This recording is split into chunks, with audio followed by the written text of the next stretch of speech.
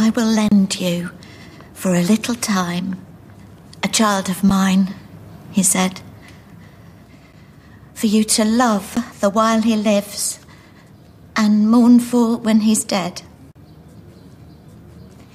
It may be six or seven years, or 22 or three. But will you, till I call him back, take care of him for me? He'll bring his charms to gladden you, and should his stay be brief, you'll have his lovely memories as solace for your grief. I cannot promise he will stay, since all from earth return.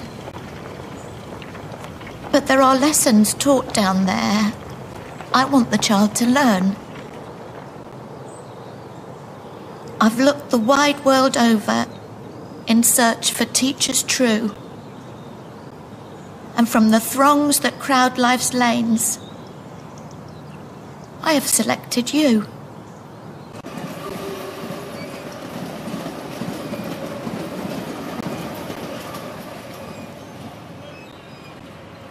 To you, gentle father, we humbly entrust this child, so precious in your sight.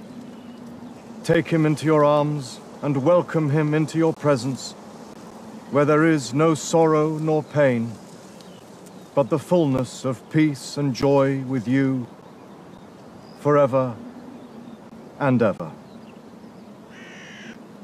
Amen.